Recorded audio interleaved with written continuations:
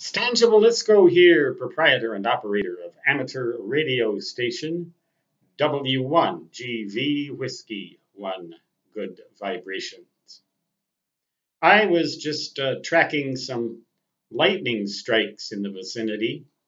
I'm nowhere near considering being on the air.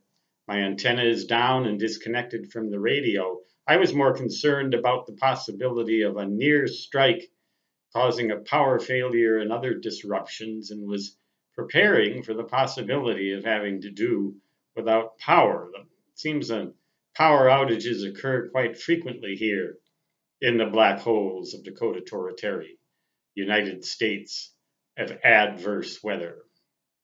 We did have a hailstorm. The core of the storm missed us. Uh, we only got about pea-sized hail, but they did have some places where it got as big as ping pong balls.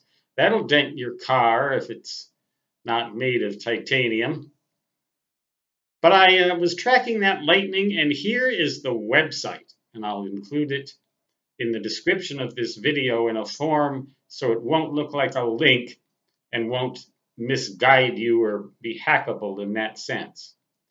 Lightningmaps.org all lowercase, all one word, lightning maps, then dot org. If you go there, you can track lightning strikes in real time over quite a lot of the Earth's surface. And you can zoom in and you can find out, sometimes you can even see the pop appear on the map. And if it's close enough to you, you can hear the thunder a couple of seconds later.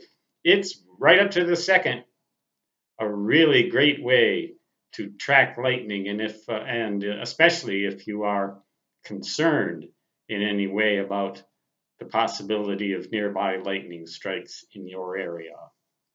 Extremely useful to ham radio operators, shortwave listeners, and then anybody else who is concerned about potential damage to sensitive equipment, outdoor antennas, and the like. Stan signing off, saying 73 and so long, which, in my native fist, of course, will always translate to da da da da da da.